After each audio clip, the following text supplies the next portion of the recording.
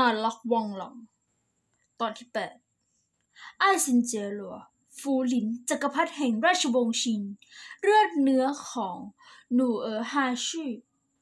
อีกไม่นานเกียรติยศและศักดิ์ศรีของท่าน จะป่นปีหรือว่านี่จะเป็นกับดัก หลอกลวง มีคนให้นางมายุยวนข้าเห็นหรือ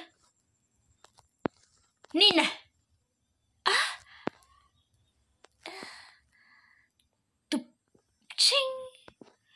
นางปีศาจบังอาจนะ เจ้ามีจุดประสงค์อะไรกันแน่อะทำไมข้าต้องตกอยู่ใน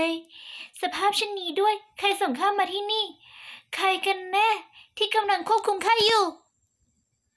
อะร้องไห้ยันเด้อ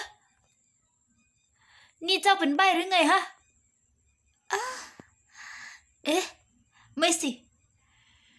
ดูบนข้อมือนาง นั่นเป็นสัญลักษณ์ของ ลัทธิบูชาเวทมนต์ชัดๆหรือน่าจะเป็นหุ่นชัดอัศนีตำนาน มีคนให้นางแปลงเป็นปีศาจบุปผามายั่วยวนข้าแล้วให้นางแผดเผาตัวเอง หรือไม่ก็ ยามใดที่อยู่เคียงข้างข้าสบโอกาสสินะ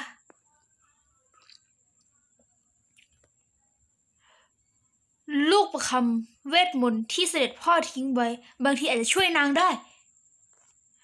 เอาเอานี่ไปซะ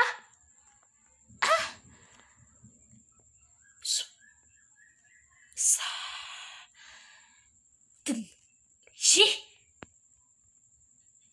ทำลายอาคมของข้างั้นหรือกลับสู่ปกติแล้วหรือ ทีนี้เจ้าก็คงพูดได้แล้วสินะ บอกมาว่าเจ้าเป็นใคร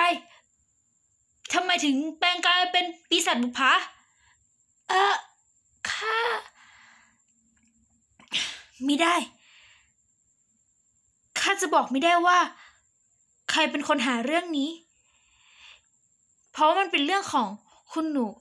อีเวียน คุณชาย ข้ามาจากครอบครัวที่ดี เพียงแต่ถูกคนวางยาพอข้าตื่นมา ก็มาอยู่ที่นี่แล้วเจ้าค่ะ